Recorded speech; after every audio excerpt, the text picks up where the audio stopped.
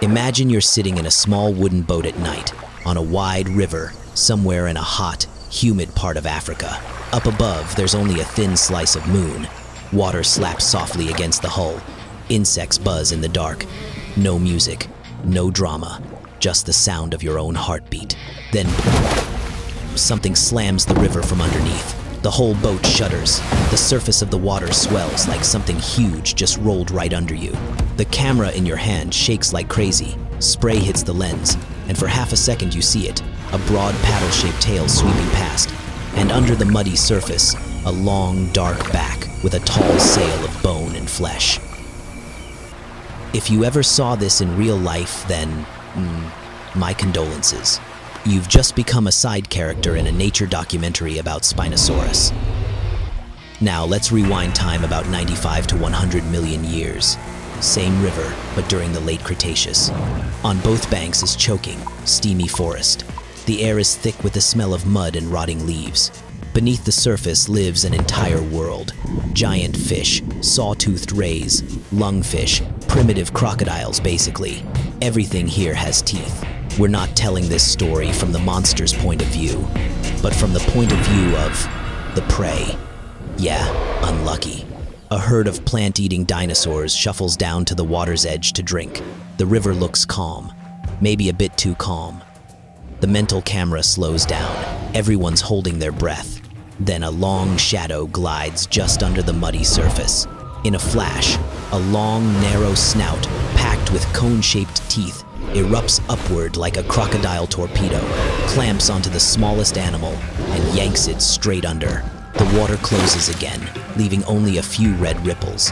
That, right there, is the owner of the river we're talking about today.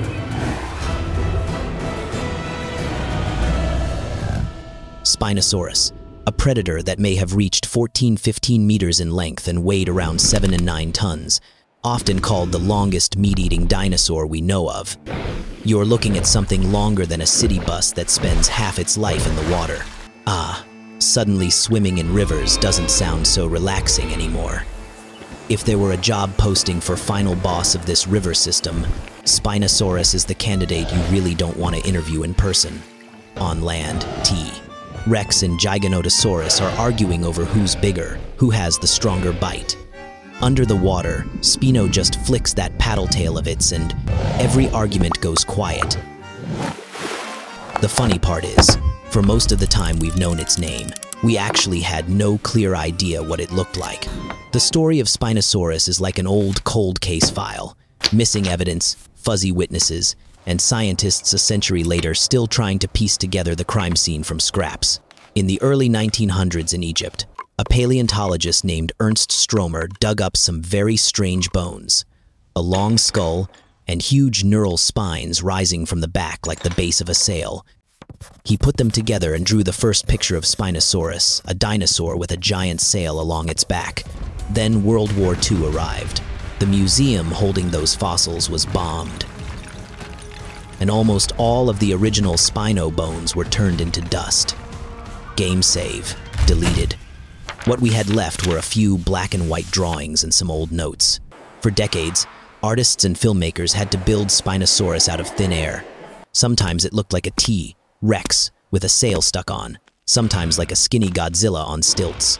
From the 1,990 seconds onward, new bits of bone slowly trickled in from Morocco and Tunisia, a bit of jaw, a few teeth, fragments of skull.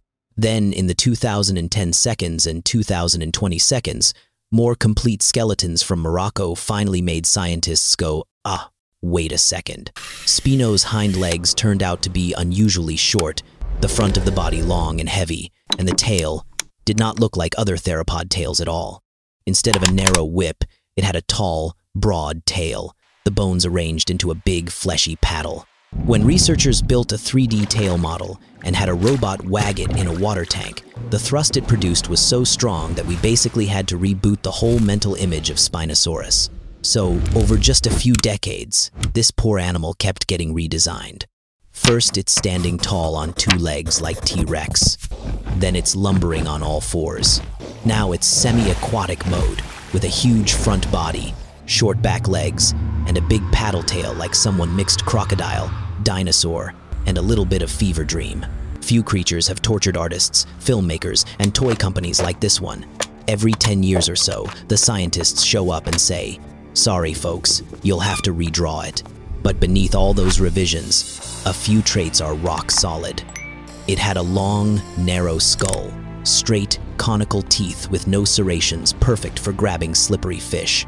Its nostrils were set higher up the snout so it could breathe while the tip of its mouth was underwater. Its bones were dense and heavy, like it was wearing built-in dive weights to help it sink and control buoyancy in the river. All of that points to one thing. This monster was built to live with water. Zoom the map out a bit. The region we now call the Kemkem beds in Morocco was then a vast delta of rivers and wetlands, basically Amazon plus Nile, late Cretaceous edition. Nature there seemed to be playing a game and forgot to balance it. Way too many predators, not a lot of chill plant eaters. On land you had Carcharodontosaurus, Deltadromeus, and other giant theropods. In the water, you had sawfish like Onchopristis a few meters long, big, bony fish ancient sharks, massive crocodiles, and right in the middle of that cast list is Spinosaurus, holding the role of supersized river monster. If this were an online game, the devs would be roasted on the forums. Too many predators, literally unplayable.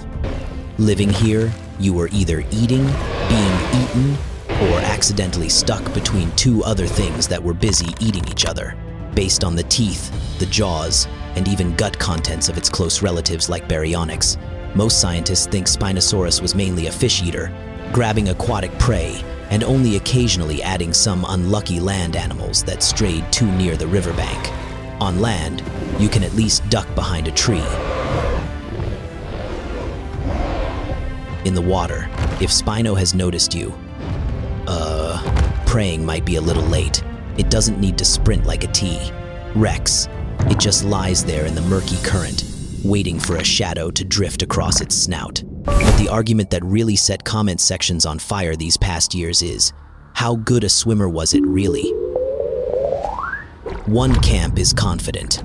With that paddle tail, dense bones, and short hind legs, Spinosaurus could have been a near full-time aquatic hunter, a sort of upgraded croc dino.